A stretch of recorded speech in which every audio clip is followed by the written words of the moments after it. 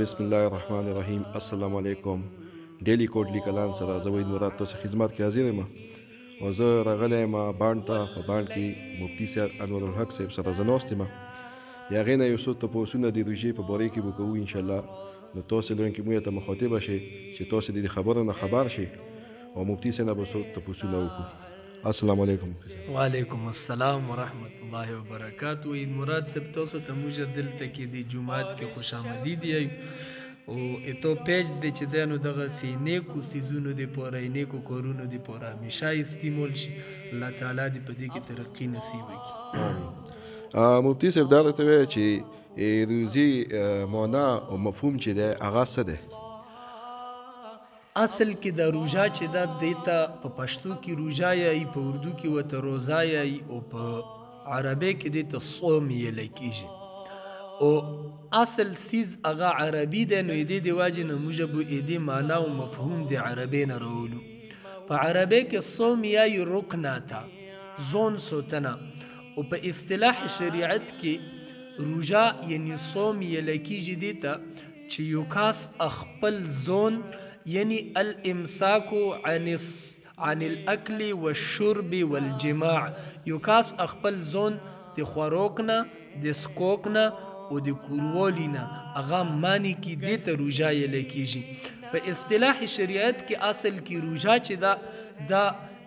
ای پیغمبر علیه الصلوة والسلام د مدینې منورې د هجرت نه تقریبا اتلس میاشتې بعد هغه په امت محمدیه باندې فرض کړل شوی و په دې په باره کې اختلافات دي چې آیا ادینه مخکې په نبی علیه الصلاۃ والسلام په امت باندې د رمضان نمخ کې آیا روزه فرض وي او کنه وي فرض بعض محدثین او مفسرین لیکلي دي چی نبی علیه الصلوة والسلام چی کوم د رمضان فرضیت ثوبت شوی ده د قرآن نه ای هغه نه مخکې یوه روژه هم فرض نه وه او بعضې محدثینو دا لیکلي دي چې نه دې نه مخکې صوم عاشورا یا د ایام بیز هغه روژې چې ده نو هغه فرض وي خو به هر حال چی هر څنګه وی د رمضان المبارک روژو ډیر فضیلت او عظمت رغله ده په دې کې چې ده نو د امت محمدیه د پر هر قسم رحمتونه کرم نوازه مهربانه برکتونه هغه نازلیږي نو دا روژه ده د دغه مفهوم ده مفتی صاحب دا راته وایي چې په کومو روژو کې چې کوم د روژې معنی دي څنګه چې تاسو تپوس وکړو چې لازمي خبره ده چې روژې دمره فضیلت او عظمت رغلی دی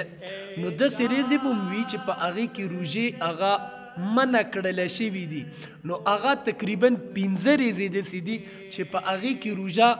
هر یو سړی او ښځې د پوره نیونه حرام ګرځول شوي ده په هغه پنځو ریزو کې اولنی ریز د اختر وړیکي اختر ریز ده چې هغه ته عید الفطر یې لکیږي دویمه ریز د عید الاضحا ده یعنی غاټ اختر په ریز باندې د الله تعالی د طرف نه مهمان نوازی وینو په دې ریز باندې هم روژه نیونه هغه مانه کړل شوی ده دغه سي اې دې نه علاوه ایام تشریق یعنی تشریق هغه درې ریزه چې پاغي کې تکبیرات تشریق ادا کیږي هغه ایام تشریق کې روزه نیونه چې دانو هغه منع کړل شوی دا نو دی پنځو ریزو نه ایلوه چې دانو په ټول کول کې روزه نیول شي دغه اجازه شته ده مفتي صاحب دا راته وایه چې د شوګر مریض او بلډ پریشر مریض چې کوم وي او یا یې معدې څه مسله وي یا یې په ګردې کې چې کوم پوڼې وي د هغې دپاره څه حکم دی ماشاءالله وحید مراد صاحب دا تاسو ډیر خستا سوال وکړو دی عام طور سره ایمونه زیات ته پوسونه دی په بورا کې کیږي شوګر يودسې مريض ده چې لزيمي طور سره ئې هغې ئې مرض دې واجې نه انساني صحت او انساني بدن ته څه قسم تکاليف وي چې هغې تکاليفو دې واجې نه هغه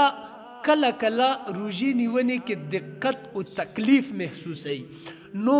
ئې شوګر مريض چې ده نو هغه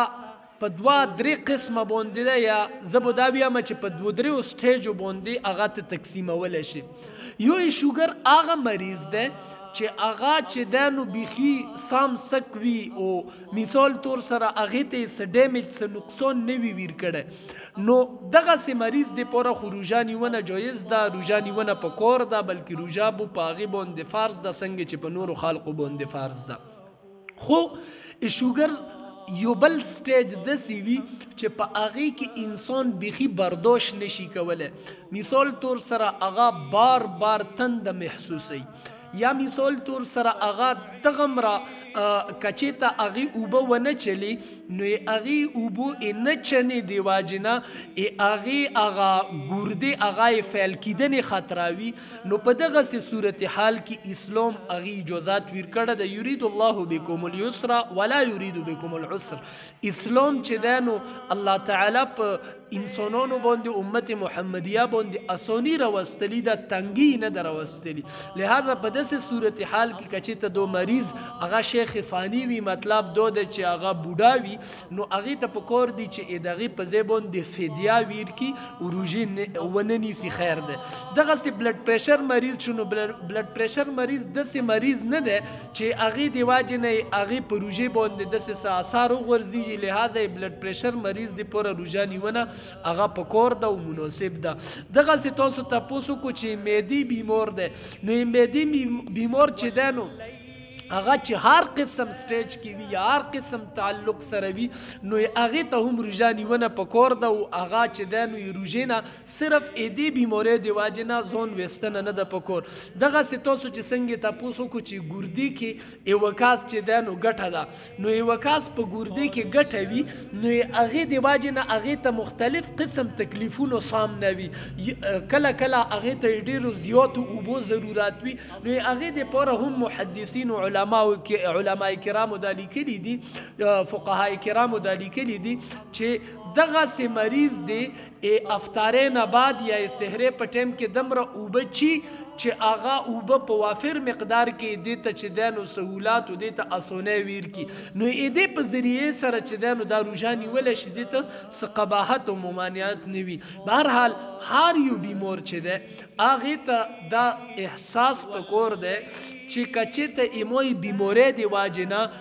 امو يو بدن ئې کټ کيدنې خطراوي يا امو ئې مړ کيدنې خطراوي نو دسي بيمور د پوره ئې روژې اجوزات شته ده چې هغه وخوري که چيته نيوله شي نو ئې دې دې په نورو وريځو کې قضا وکي او که قضا نه شي کوله نو ئې دې دې فديه ادو کي.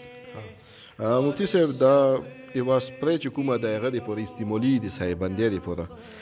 دغه سپری دغه په دې روژې کې دا استعمالول شي سایه بندې د پوره دا یو خسته تپوس دی او دو لازمی خبره ده موجوده دور سره ډیر زیات ریلیټډ او متعلق دی انهیلر چې ده نو دا ډیر حسابنده مریضان وی چې هغه چې ده نو انهیلر نه بغیر هغه گزاره نشي کیدل خو اې دې د پوره ضروری دودا چې ام ایس آی چې کوم مریض ده هغه د دسې حرکات او دسې سکنات او دسې سیزونه دې نه کوي چه هغه سیزونو دی واجه نه هغه ته سابنده کې مشکلات روشي یا هغه سایه هغه باند شي نو اې دی واجه نه روجه کې هغه ته احتیاط پکور دی او روجه کې هغه ته زیات تر پریز پکور دی خو بهر حال کچې ته یو چاته ضرورت شو چې هغه چې د نو مثال تور سره روجي کې هغه سپری انهیلر استعمال کی نو هغه د پوره ضروری دوده چې هغه مو روژه متعي ځکه چې انهیلر کې اینه نه داسې یو ذرات وي صرف دا سپری نه ده بلکې دې کې اینه نه داسې ذرات دي چې هغه ذرات انسان وجود ته داخلیږي وي هغې جوف دهن ته ننوځي نو هغې په ننتنې باندې لازمي طور سره چې هغې خېټې ته هغه ذرات ننوځي نو هغې سره روژې باندې اثار پریوځي نو دې سره روژه لازمي طور سره ماتیږي دې په ځای باندې دې به که چېرته ډېر زيات ضرورت وي هغې مرګ خطره وي نو په هغې ټايم کې دې دا انهيلر استعمال وکړي او د هغې په ځای باندې يوه قضا بله روژه ونيسي. مفتي صاحب دا سوال درنه کوم چې کله یو انسان روان وي یا نوس وي یا رنګ حالات کې چې وي مطلب ځنه ټیم کې لکه اوس ګرمي د خو مخو منګسیا شي یا داسې مچ شي یا د بل داسې څه زراعت شی وي چې هغه د کومي ته لوړ شي نو هغې سره روژه خرابیږي موتیږي مکرو کیږي څه یې ځواب دی ماشاءالله دا یو ډیر اهم تپوس دی او یقیني طور سره ایموژه د ناظرینو ته به اکثر یې دې په باره کې علم نه وي تو ډیر ښایسته تپوس وکړو روژې په حالت کې یو کاس چې دی نو نوس ده به لکه داسې نوس ده چې هغې ته پاته نه لګي یا روان دی او هغې خولې ته اقدام مچ یا منګسه یا او چې ده نو د دوړه دا هغې ته اقدام نه نه ده نو په دې باندې فقهای کرامو دا لیکلي دي چې په دې باندې روژې اس اثار نه پریوځي خو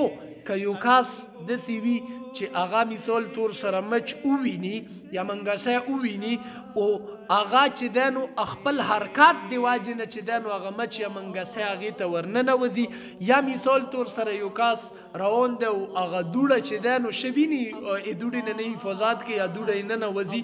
نو په هغې صورت کې بیا په روژې باندې اثار پریوځي دې سره بیا روژه ماتېږي دې ته احتیاط کونه پکار ده خو که اقدام یو سړي ته بغیر یې هغه نه